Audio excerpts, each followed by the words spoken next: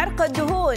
وهم تبيع مراكز التنحيف ولكن هناك من يحذر من الحرق الزايد للدهون اللي يؤدي لضعف العضلات وترهل في الجلد وهذا الشيء اللي إحنا ما نبغاه. وهذا رأي مدرب اللياقة جانتي اللي حيكون ضيفنا طبعا وهو ضيفنا الدائم في صباح العربية.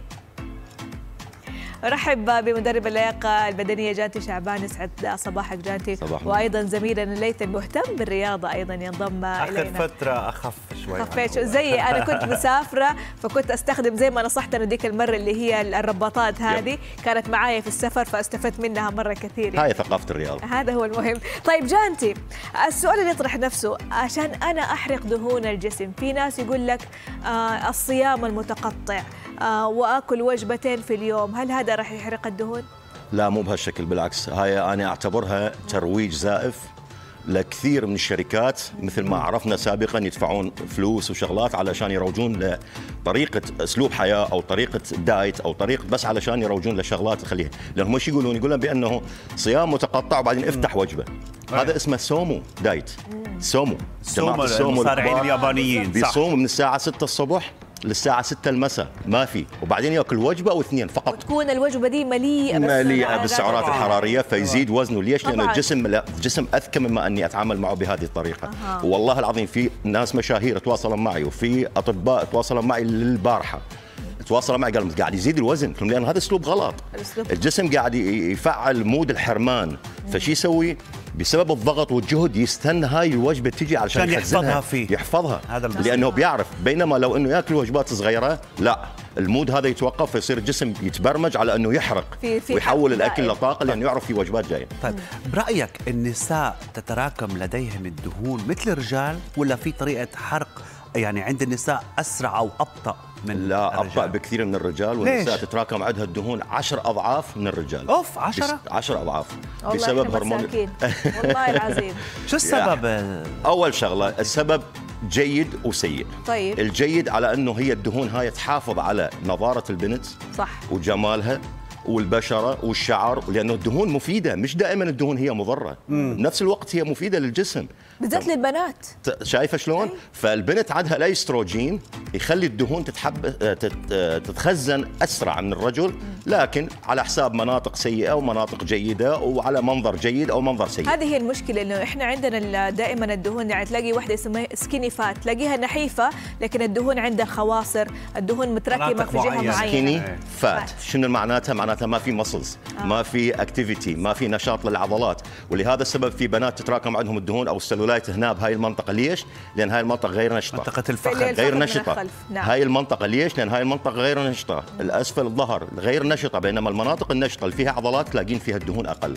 فشنو معناتها؟ معناتها المنطقة اللي فيها دهون نحاول نخليها activity نشطة علشان ما تح- ما تحبس الدهون. طب إيش رأيك في البنات اللي يروحوا الجيم ويسووا رجيم ومهتمين على بأكلهم ويقول لك أنا بدي أنشف جسمي وأبغى نسبة الدهون تكون عندي على الانبادي ما تتعدى ال 20% وأبغى هذا الجسم اللي يكون كله بس عضلات. أنا لهذا السبب توقفت عن تدريب البنات. أوه. لأن أنا مو دكتور. مو دكتور تجميل. تجي البنيه تريد تحف... تصغر منطقة على حساب منطقة ثانية. تكبر منطقة على حساب إنها تصغر منطقة ثانية. تحرق دهون وتبني عضلات بنفس الوقت. أي. أيوه. هذا سحر. هذا طيب. أسلوب سيء. ما فيك إيه. تتعامل مع الجسم بهذا السبب. طيب. ل- لهذا لهذا السبب البنت ضروري إنه تفهم شلون تتعامل مع جسمها. لما تروح للجيم أو للمدرب تعرف بأنه هي شنو الهدف مالتها. ما يصير إنه تنزل الوزن وتزيد العضلات بنفس الوقت. في عندها هدف.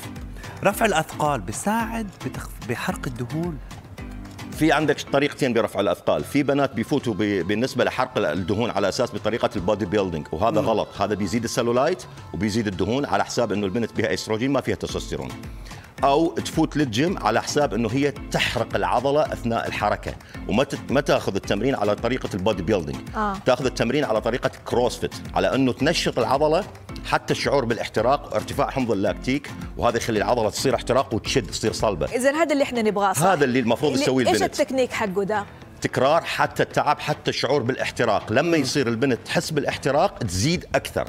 لأنه هسه بلش حرق الدهون أو تكسير النسيج الدهني. وشرط انه تكون الأوزان عالية؟ no لا ما بيصير. إذا رفعنا أوزان هنا ما راح تصير تكرارات تتعدى ال 10 أو ال 12 لهذا السبب أنا أريد أكثر من 20 أو 20 أو 25 تكرار. في الجلسة الواحدة؟ في- التكرار الواحد بدون راحة مع الانتقال لتمرين ثاني. كم وقت لازم؟ ب- بمجموع عام تمرين مثلا ال upper body ما يأخذ أكثر من 20 دقيقة لأنه التمرين للبنت لازم يكون 40% رفع اثقال اللي هي التمارين و60% إلى 80% cardio. والله عناء يا ريم. آه، مو سهل علينا يعني. لهذا السبب control بس طيب. هو ده الأكل هو اللي متحكم control في إيش قد تاكلين؟ بالضبط. شنو تدخلين شنو جسمك يظهر أو شلون تعاملين وياه؟ نعم.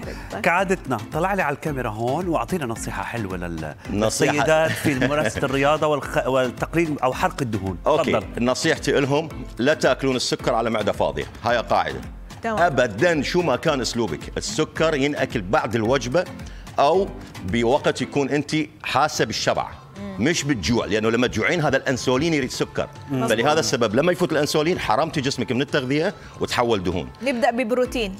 لا مش مش بس بروتين يكون في بالانس في موازنة. إي، يكون في بالانس الشغلة الثانية هذا لا تلبسوه. نعم. هذا ليش؟ بيعمل سلولايت هذا طيب. يعمل سلولايت بخنق الجلد. صراحة إيه. صدمتني جدا جانتي ولكن نصايحك دائما مهمة. شكرا لوجودك. معنا اليوم. شكرا ليث. شكراً.